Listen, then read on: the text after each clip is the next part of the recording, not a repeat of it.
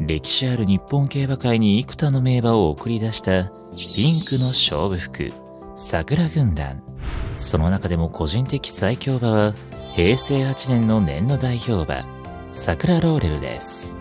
96年の天皇賞春で三冠馬成田ブライアンを通し、6歳にして初の G1 制覇となった桜ローレル。数多くの重賞や G1 を制している名馬ですが、その中でも圧巻だったのが、96年の中山記念。ジュニーや石庭竜王などの実力馬を抜き去った末足は、今でも忘れることはできません。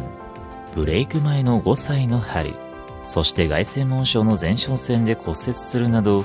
2度の重傷の故障を経験しながら、6歳にして初の G1 制覇、年度代表馬を受賞。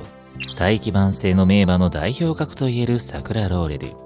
故障さえなければより多くの成功を勝ち取っていたに違いありません。幾多の名馬を輩出した桜軍団の最高傑作といえる存在でしょう。